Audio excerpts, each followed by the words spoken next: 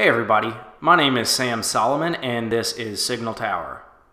I know it's been a while since our last show, but we've got a really great treat today.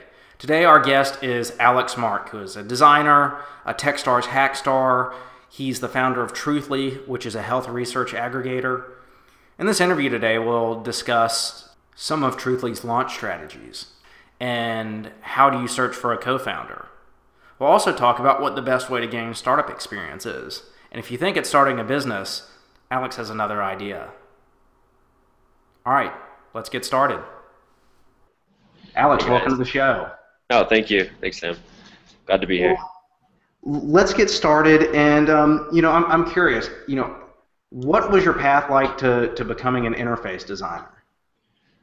Um, I think I took a pretty unconventional route, but I don't think there's really a, a conventional route to becoming an interface designer. Um, I also do user experience as well.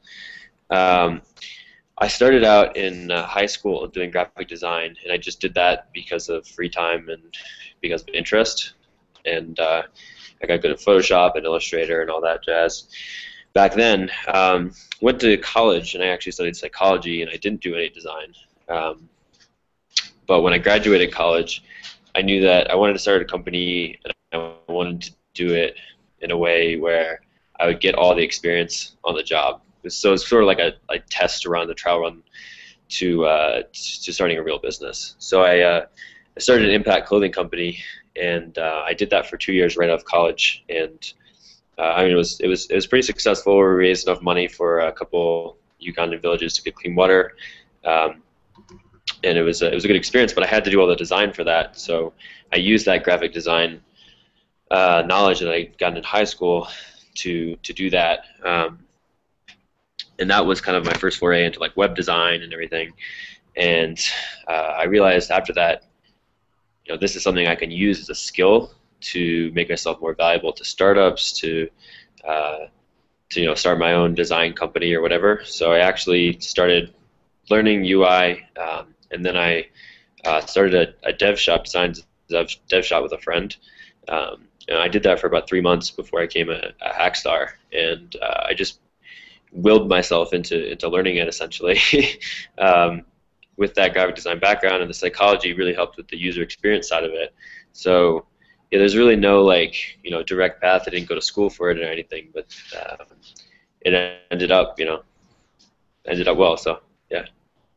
Well, tell me a little bit about, about Impact Clothing Company. Um, you know, what, what types of clothing were you were you selling? How you know where did that why that company? Yeah.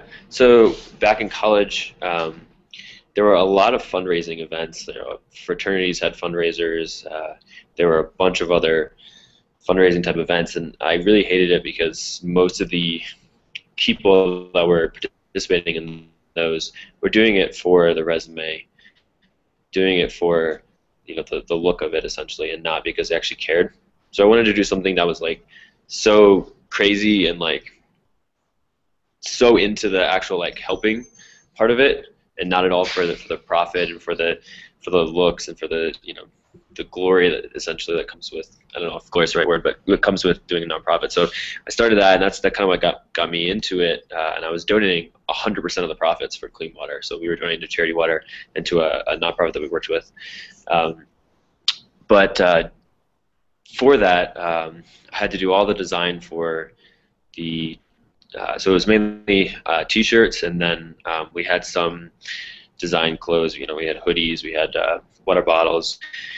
So it started out pretty small, uh, and by the time I ended, it was kind of the inflection point where um, we could have gone from these pre-designed, pre pre-cut clothing, um, where we were just getting screen printed, um, to more cut and sew, and I had a, um, a uh, manufacturer lined up and everything, and we had designs. And I said, no, that, this is not what I want to do with my life. It's really hard. I'm not making money, so I had to shut that down. But yeah, I did all the design for the for the clothing at that point. So I kind of learned about fashion design, did all the website design, um, and everything kind of came together. It was interesting. Do you think that that starting that business was the the most valuable thing that you've done as far as you know kind of entrepreneurship? Uh, interestingly, no. I would actually say uh, not at all. Um, and I think you get a lot of people who say, just go start a business, and that's going to be the best experience for learning business. Right. And I would actually say that's not true, especially if you're into startups. The best experience is going to work for a startup. Um, that that helped me learn. Like I learned about fashion, I learned about clothing design, I learned about design, but those are all skills that can be learned, right? Right. I didn't learn about the business side of it. I didn't learn the like what I needed to do to succeed because I didn't succeed. I didn't know the value of networking at the time. I didn't know, um, you know, how how hard it was going to be to donate all the money and not have any cash reserves, right? So so these like business aspects of it, I actually didn't learn, um, and like learning that okay, yeah, I shouldn't have donated all the profits because we should have been keeping cash reserved, and that was that was kind of a crazy business model that, you know, yeah, I learned that, but that doesn't really help me in the future, right? So so I would say no. Um, the best experience for me was was actually being a hack star and working with you know 10 early stage companies and seeing the struggles they went through. Uh, that was to me was a lot more valuable. That's interesting because you know for me it, the I learned so much from starting my business, but um, you know, now that I think about it, I went to go work for drchrono, which was a, a YC company after that, yeah. after I graduated from college. And uh, it, it, was in a business that I didn't know that much about. It was it's it, we basically create healthcare software, EHRs for the iPad, and uh, I, I, learned an incredible amount oh, while I was there. Um, so yeah. I, I, definitely see your point. Yeah, um, I think I think people think you learn a lot from failure, and I think you do learn a lot from failure, but I think you also learn a lot from seeing success uh, and being a part of success. So. Yeah, absolutely. Um, so t- tell me a little bit about being a hack star. So what what does that actually mean? Uh, so the Hackstar program is interesting. It's essentially like the single founder program for Techstars. So if you're an entrepreneurial type person and you have a skill set, so you're a designer or a developer, um, and it's sort of developer focused, but there's definitely uh, at least one designer per program. Um, it's a great system to kind of learn if, if you really want to be an entrepreneur, uh, get like an insane amount of knowledge really quickly about about starting a company, um, about fundraising, about mentorship, about networking, uh, building a huge network. So it, it uh, the program itself was was just yeah the way they describe it is a fire hose of, of knowledge and information and networking. That's basically that's basically what it was. So it's just constant head to the grindstone like shit coming at you all the time. It was fun. Very cool. Very cool. Um, well let, let's talk a little bit about truthly um, I guess you know. Oh, I, I sorry, I forgot to mention. Um, excuse me. Oh yeah, um, I just forgot to mention what we actually. Yeah, I forgot to mention what we actually did during the program. Uh, so uh, during the Hackstar program, you get to work with all the companies, uh, kind of as a um, a mercenary uh, contractor. So, company will come to you and say, "We need this." Uh, by you know three weeks from now, and you get to choose. Okay, should I take that project or not? If you choose to take the project on, then you know you work with that company, and you end up going in deep with uh, around two or three companies, really building significant amount of product, helping the teams move the ball forward. Um, but you're constantly being bombarded by teams because they're always like strapped for for product, and um, the goal is essentially to help the teams build product faster. And were you when you were there? Are you an employee of TechStars? Because you're not really part of any of those individual companies you're working with, right? Yeah, you're an employee of TechStars. Uh, you're an independent contractor for TechStars, and you're you're essentially uh, a contractor that TechStars has brought in and vetted to work with all the companies. But at the same time, you also go through the program as if a founder would. Gotcha, gotcha. All right, well now let's move on to, to Truthly. Tell us a little yeah. bit about it. Sorry, I, I lost that last part. What was that? Said uh, now let's move on to Truthly. Uh. So um, I guess you know I in the introduction I kind of gave it you know it's a it's a it's a health research aggregator. Um, yeah. Would you go in a little bit more detail and kind of tell us a little bit about what you're doing with it? Yeah, sure. So what I realized, uh, and I've had my own health issues before, is that it's really, really difficult to find trustworthy, uh, personalized, accurate health information online. You mainly get articles, blogs, and, and like slideshows. So just right. health content, and health content is terrible. Uh, what we're trying to do is is disrupt that whole model with a platform model that connects consumers to health research. And the way we do that is kind of like a, imagine a Stack Overflow. So a, a user can search for a health issue uh, and then filter by different variables. So I could search for uh, heart disease, and I could filter by uh, omega 3s and um, you know, over 50, for instance. And I can list of all these findings, uh, and they're all research backed. So it's not question and answer like Stack Overflow, but it's research validated content, right? And then within that, we do a lot of cool things, and we're going to do a lot of cool things in the future. So I, was looking at the at the Truthly app, and it definitely, you know, compared to going to, you know, some of these other sites, uh, you know, it's definitely a, a, lot cleaner. Information seems to be pretty well organized. Um, you know, I, I, guess is you know, how are you going to differentiate yourself out there from some of the bigger ones though? Like WebMD obviously is you know kind of yeah. a go-to resource. Um, yeah how are you guys going to differentiate yourselves? Well, so WebMD is great for a diagnosis. So if you have like a skin rash, right, I can go WebMD and it'll tell me what it is. But it's not good for wellness, so nutrition and fitness. If I do nutrition, if I'm researching nutrition and fitness, which is you know, huge, over 100 million uniques, right? Right. Um, I mainly get articles, and they're articles written by people who may or may not know what they're talking about. They're referencing other articles, uh, you have to wade through all this misinformation. The other problem with WebMD is okay, now I have a diagnosis, right? What do I do after that? Now I know that I have uh, myocardial infarction. What do I do after that? There's right. things that I can do. There's treatments that I can take. There's supplements. There's lifestyle changes, right? Um, I was actually talking to uh, a doctor, and she's one of our mentors, um, about a week ago, and she she uh, she had MS. Uh, for four years, she couldn't walk. She had to use a cane, a walker. She was on MS drugs, right? She realized that there's research on diet and nutrition, or uh, nutrition and MS. She changed her diet. Is totally symptom free now. She's been symptom free for the last six years. Wow. So this is kind of an example of this is a person who's a doctor who should know research and literally had no access to this information. This is life-changing information, and what we're doing is bringing that to the surface, making that available. Uh, we've got a platform that actually makes it easy to cross-reference that information. So um, she can look at MS diet in people with, you know, like a, a woman versus a man, right? That's a different, totally different subset. Maybe it works for somebody, maybe it works for it doesn't work for other people. So um, that's where our value lies in wellness and, and, and in um, treating these conditions.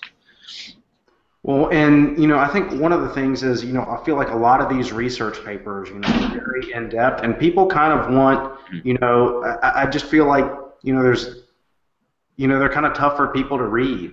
Um, yeah. You know, what are you guys doing uh, visually to kind of like organize some of this information and make it easier to yeah. digest? Yeah, so again, imagine the Stack Overflow model, right? Everything in Stack Overflow is based around a question, right? It's a question and then an answer. For us, it's the research paper and then the answer, okay? So the research paper is the backing idea for for whatever piece of content, whatever knowledge that we're trying to distribute, right?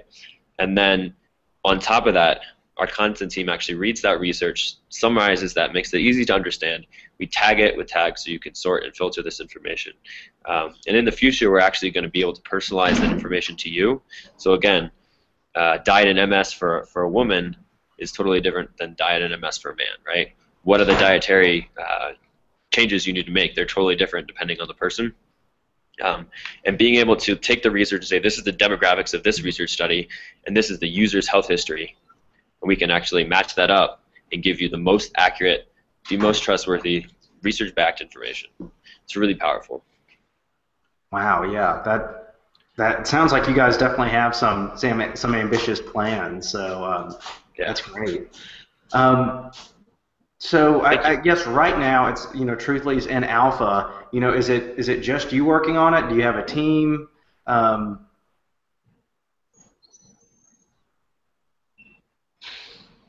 yeah, so it's just me right now. Uh, I'm actually looking for a co-founder. Uh, super picky about about that. well, that's a good thing to be um, picky about, right? But I have a uh, exactly. Yeah, I have a content team who's uh, doing the research and reading the research, uh, and they're they're great. They're awesome. They're a bunch of uh, students who've done their own research and, and know what they're talking about.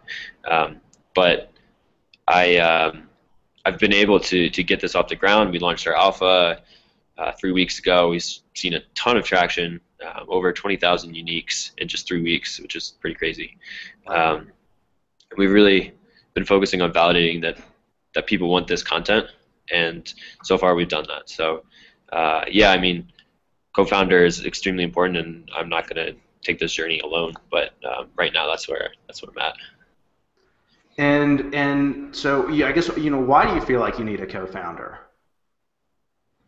Um, it's a it's a good question. Uh, I guess for for people who don't you know understand startups as well, um, co-founder is really important because you need somebody to bounce ideas off of. If you're just in your head the whole time, like this is a good idea, this is a bad idea, you're you're eventually going to be led astray. I think. Uh, so I think that's the number one reason. The second reason is you have to delegate and, and, and split up tasks. And so I need somebody who can build product while I'm out networking or raising money or whatever, um, or designing or you know. So those are the two main reasons. And accelerators really won't give you a, a, a second look unless you have a co-founder even me having the Techstars pedigree, knowing the entire like Techstars family, I uh, I'm pretty sure I won't get into Techstars unless unless I have a co-founder. So it's definitely valuable. You mentioned that uh, you got about twenty thousand uniques in you know uh, three weeks. You know what what activities did you do um, when you guys were trying to launch? Like that's a pretty that's a pretty solid number. How you know what did you do?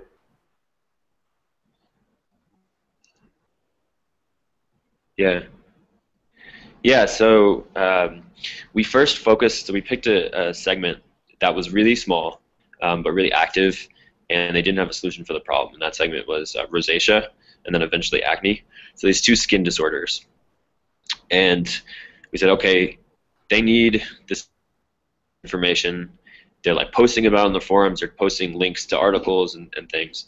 Um, we can come in and give them and they actually had an, art, uh, uh, an article that said can we get all the research in one place? And it was like this forum post. Um, so we're like okay this is a good community for us to start out with right? So uh, we took that. We uh, turned it into um, community-based user acquisition model in the beginning. So we were posting on these forums. We kind of integrated ourselves into the forums, and then we just link back to these articles. Um, we went on Reddit. We were doing the same thing. We were, we were linking back to our articles. We actually had a Reddit post go viral, which was pretty pretty crazy. Uh, we got to the second page of Reddit, which I was I was pretty impressed That's awesome. Um, yeah, so it was it was manual in the beginning, um, and now we're testing kind of secondary social uh, user acquisition models. So we're testing Pinterest, which actually has a really high conversion rate. We're testing Twitter, again, which is a really high conversion rate. Uh, and we're seeing the difference between our targeted traffic, which is the traffic that uh, has a has a problem with rosacea or acne, and our untargeted traffic, which is like our Reddit traffic. Um, so those are the main models, but it's it's all testing based right now. We just want to say, okay, how much traffic can we get if we have say 100 and 50 Twitter followers, right? Okay, let's model that out to 1,000 Twitter followers and 10,000 Twitter followers. How long is it going to take to get there? How much traffic is that going to send us continually? And uh, eventually, what do we need to do to get to a million users, right? It's kind of the first baseline goal.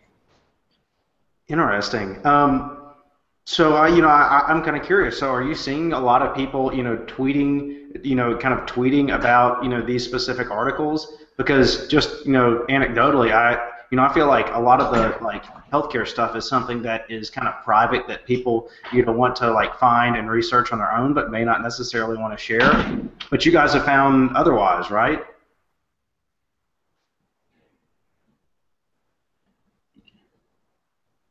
absolutely yeah so uh, the two things that we've we've really found are um, people get really into groundbreaking information. So something that they, they don't know, but kind of changes their perception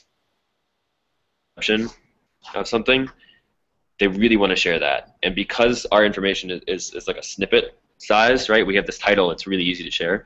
Um, that's kind of where we see Reddit and, and those social communities getting really excited. And then with, with Twitter, for instance, if you go on Twitter and you do a search for, for acne or for um, any kind of like science-based information, you'll see that um, people will post the link, like they'll post a sentence and then a link to an actual scientific article or to a, a piece of content that talks about a scientific article. And those do really, really, really well on Twitter. I mean, if you know, like, I fucking love science, they have 12 million followers, and I'm not on Facebook, but um, it's it's an incredible how these little snippets of science people get really excited about. Uh, in in terms of health, it's the exact same way. It's actually more sticky for health than for kind of generic science. Uh, it's just they don't tweet about it as a personal experience. They tweet about it as uh, this is information I find interesting. Huh. Wow, that is interesting. Well, so thinking ahead, kind of, you know, what I guess what obstacles do you see? Yeah, I mean, there's there's a bunch. This is a, a really tough problem that obviously probably would have been solved before if it was easy. Uh, I think that's, right. that's kind of how it is for for most things. Um, I mean, we've got science over here, which is so dense and so difficult to. I apologize for the, for the noise in the background. So dense and so difficult to parse through. Right? We can't just develop an algorithm to then translate that into human speak. We actually have to manually do that. So we have a, a model for scaling that, but um, that's one of the main obstacles is, is getting this information in a way that, that consumers can understand. Um, the second is uh, with some of the data visualization and, and um, like analyzing this this database of research that we're going to have. Uh, we're going to have to have some, some quality big data analysts. Um, we want to plug into like Watson and everything. So the the uh, mathematical science part of it is, is going to be difficult. And then uh, the co-founder obviously is, is a big uh, obstacle, but it's not an insurmountable one. Um, and then uh, finding people who who uh, understand the spaces that we're in, because we kind of straddle three spaces. We straddle science, right? We have science and research on one side, which is if you know anything about that, that's exploding and being disrupted as we're talking. I mean, I know I know uh, the founder of ScienceGate. There's ResearchGate. There's uh, Mendeley, which is acquired by Elsevier for 100 million. So research itself is being disrupted, and it's a totally whacked out old model. It's shit, right? Then there's health, which is being obviously everyone knows that's being disrupted like crazy. Um, and then there's consumer, right? We're a consumer app. So finding someone that understands, you know, investors, co-founders, whatever, people that understand all those spaces is almost impossible, and that's one of the big obstacles that, that I'm actually finding. Um, so does that answer your question? Yeah, it does. Um, and, and, as far as a co-founder goes, you know, who exactly are you looking to join you? What type of person? Uh, so two specific types of people. Obviously, the back-end developer. I'm front-end. I do design. I'm a UX designer. We talked about this, um, and I do a little bit of, of Rails. Um, but back-end is a is a big need because we have to keep the product moving forward, and that person needs to be strategic. They need to be intelligent. They need to, you know, like I said, I need to bounce ideas off them and, and develop a vision for the for the uh, uh, startup. And then uh, secondary would also be uh, somebody who understands health and research uh, and can build our content team, figure out scale this model, um, and make sure that the quality of information, I mean, we're going to do some algorithmic things and all that, make sure the quality of information we're presenting is the highest quality, but understandable for the user. And, and where do you go to find a, a, co-founder? Like, obviously, you're pretty involved in, in Techstars and some of these yeah. other things, but when you're looking for these people, um, you know, do you have ideas? Are they friends of friends? Are you, like, posting on forums? Uh, what do you, how, yeah, how you, you find these people? no, I'm just kidding. Um, so, so it's all networking. Um, I have, uh, I, I'm constantly taking meetings uh, friends of friends, basically. People introducing me to people. You have to just talk about it as much as possible and hope something serendipitous happens. Somebody, you know, sees your vision and, and catches on to that. Um, it's hard in Boulder, especially, because you get a lot of developers. In San Francisco, you see a lot of developers to jump ship and start their own thing. I mean, that's that's the thing to do there. But here in Boulder, everyone's a little bit conservative, uh, so that's that's difficult. And there's also a, an age gap usually between me and most of the developers who who would be possible co-founders.